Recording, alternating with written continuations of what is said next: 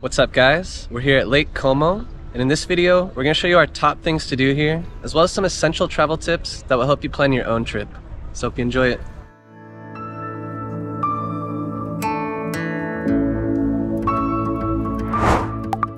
Located in the north of Italy's Lombardy region, Lake Como is known for its dramatic beauty.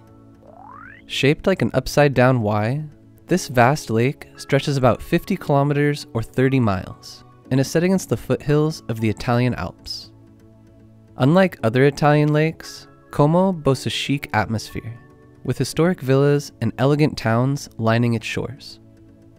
In this video, we highlight 12 of the best things to do in and around Lake Como, including some hidden gems. At the end of the video, we'll also share some important travel tips that will help you navigate the lake. Now let's dive in. We are Zach and Ina. We make helpful videos about destinations around the world so you can easily plan your own adventures.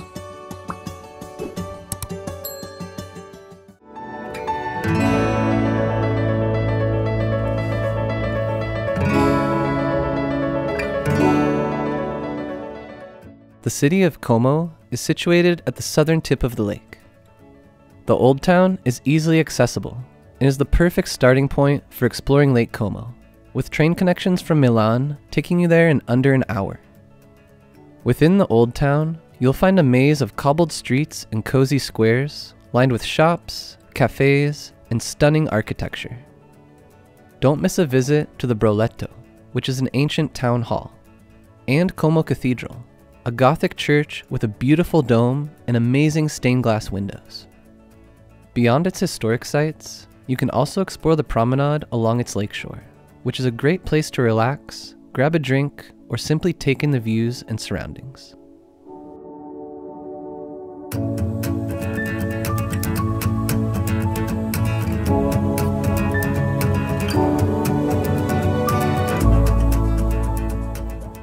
From the old town of Como, you can take a scenic ride up the funicular to the quaint village of Brunate, perched high up on the hill.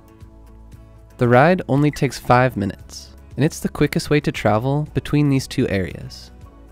It's also an opportunity to enjoy some of the most enchanting views over Lake Como. Once you arrive in Brunate, you can decide to explore the village's charming streets, take pictures from one of the many viewpoints, or hike one of the trails. We hiked about 30 minutes up a steep hill from the funicular to the Volta Lighthouse, and our reward at the top was even more elevated views. It's also possible to take a paid shuttle bus to the lighthouse from Brunate if you don't want to hike there.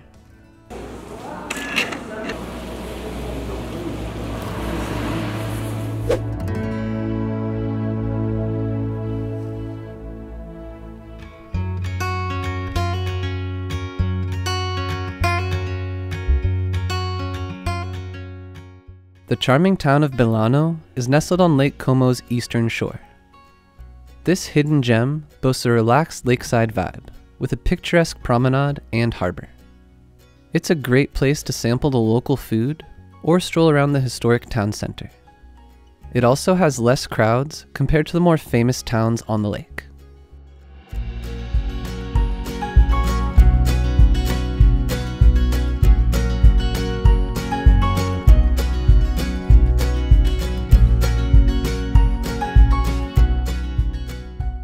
In the heart of Bellano, you can find a unique geological wonder. The Orrido di Bellano is a dramatic gorge, which has been carved by a turquoise river over millions of years. Wooden walkways wind through the cliffs, allowing you to admire its cascading waterfalls and towering rock faces up close. It's a great experience that takes between 30 minutes to an hour to complete if you include photo stops. The entrance is right behind Bellano's main church.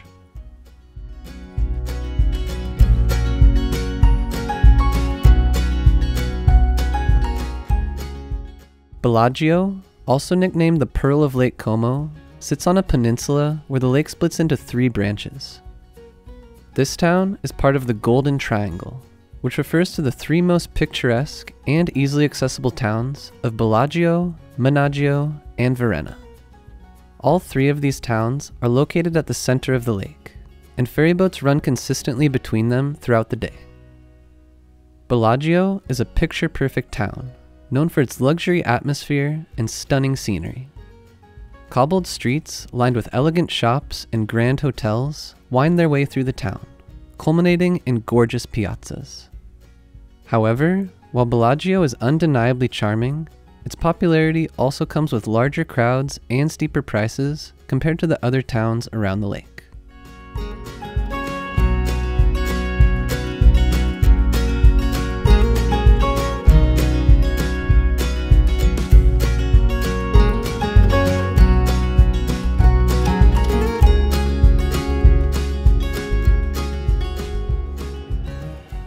Piani dei Resinelli is a mountain plateau perched above Lake Como.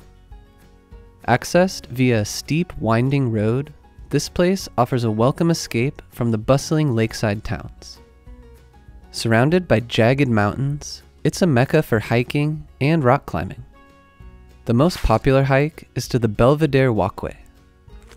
This easy out and back trail takes about an hour to complete and rewards with some of the best panoramic views of Lake Como once you get to the suspended bridge sticking out from the mountainside. On clear days, you can even see the distant peaks of the Swiss Alps.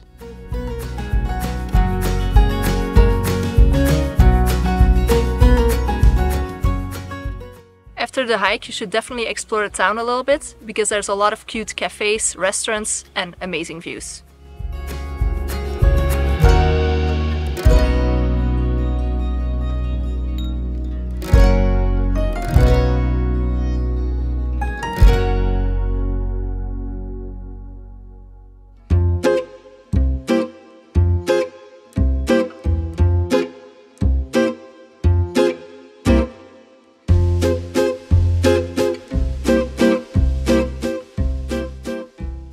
Lake Como boasts a stunning collection of villas, each with its own unique charm.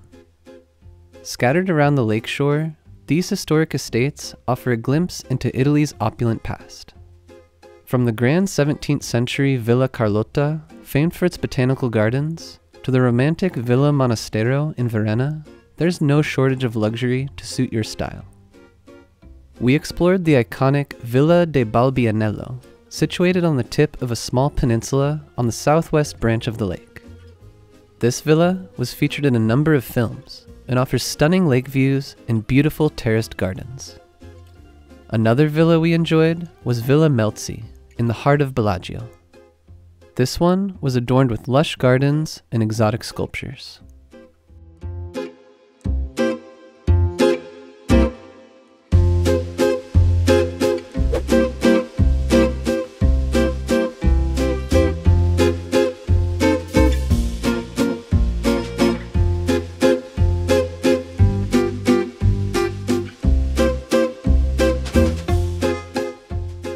Located to the northeast of Lake Como, the Valtellina Valley is a great day trip option.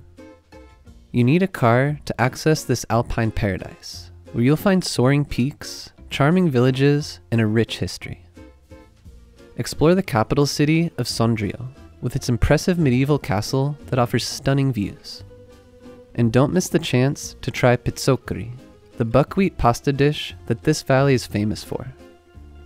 But for a taste of adventure, delve a little deeper into the valley to discover its beautiful nature.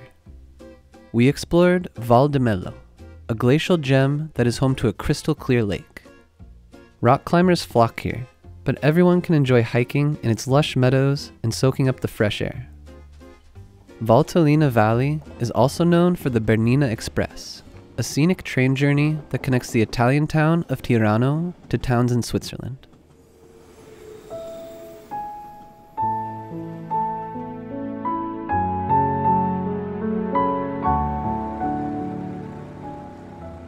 Exploring the lake by boat unlocks a whole new perspective on its beauty. Lake Como offers self driving rentals as well as shared and private boat tours, most of which launch from Como City. We opted for the freedom of renting our own boat. A boat license wasn't required, and we were given a full explanation of the rules and instructions of the boat before we left the harbor. We left a link to the boat rental we did in the description below the video as well as some other group options. This is a really good activity if you're looking to avoid the crowds, because you can kind of just find your own little pockets where there's no uh, other boats or people on the water. And plus, you have a good perspective of all the little towns around the lake.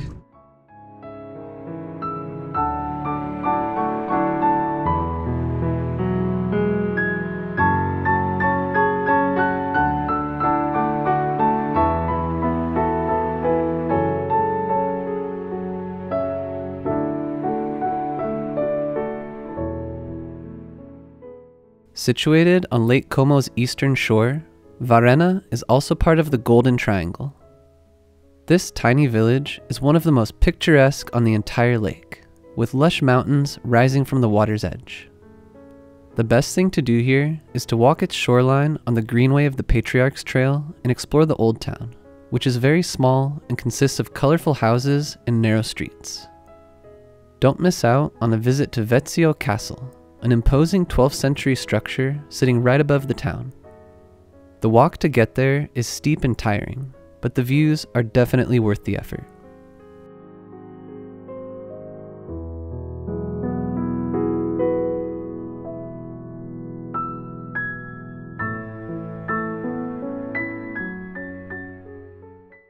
One of the best ways to take in the beauty of Lake Como is by hiking a scenic trail we decided to hike on the eastern side of the lake, tackling a portion of the historic Sentiero del Viandante. After a short train ride from Bellano, we started our trek in the charming town of Varenna.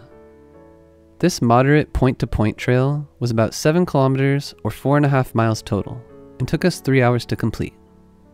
With 360 meters or 1,180 feet of elevation gain, it was a challenge on the legs throughout the trek and definitely required shoes with good grip.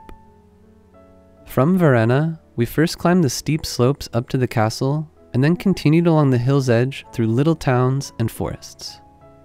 We got some amazing lake views from the elevated sections and only saw a couple other people during the entire hike.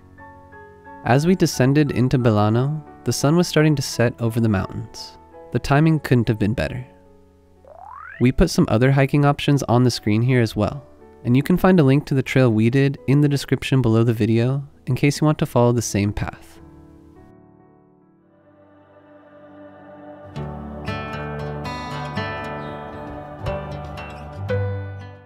Menaggio sits on the western shore of Lake Como and was our favorite town on the entire lake.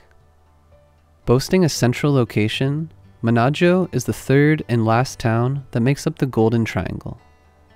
Unlike the other two, Menaggio offers a more relaxed vibe and a wide, elegant lakeside promenade. Its historic center is flatter and filled with cobbled alleys, charming squares, and beautiful architecture. The best thing to do is simply wander around the streets and soak in the atmosphere. But if you're looking for more action, there are also a few hiking trails that lead up into the hills from here.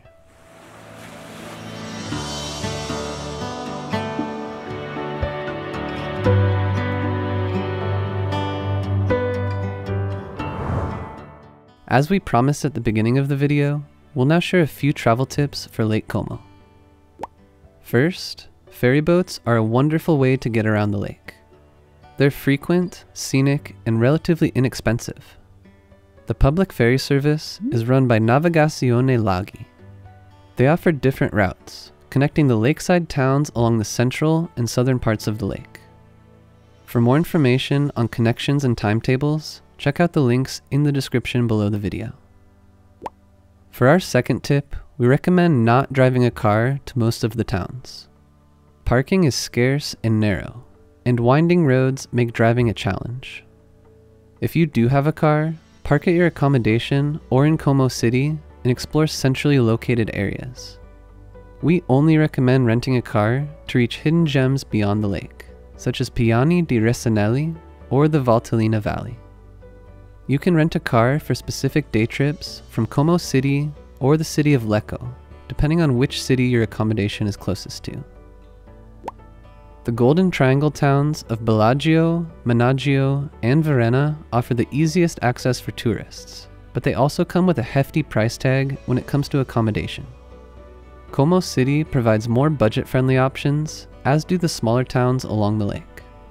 Just make sure the location you're staying at is nearby a train station or a ferry dock. The lake's vastness is deceiving, so choose your activities for each day wisely. Reaching certain spots can be tricky due to the three fingered shape and length of the lake. The eastern shore boasts a range of tunnels, which does make driving easier on that side. There's also a train line from the city of Lecco to Colico, with stops in the smaller towns. These make connections smoother on the eastern side compared to the western side. Finally, Lake Como is a nature destination, and most of the things to do involve being outside. Summer offers ideal weather, but brace yourself for crowds if you do visit at that time, especially in touristic hotspots. We visited during spring and enjoyed pleasant weather for the most part, but also had occasional rain showers, which stopped our outdoor plans on some days. If you're planning your Italy trip, we recommend keeping things organized with our interactive travel planner. Find a discount code in the description below the video. We also included other important links in the description that will help you with your Lake Como experience, such as an interactive map so you can get to each place that we mentioned. We'll catch you on the next adventure.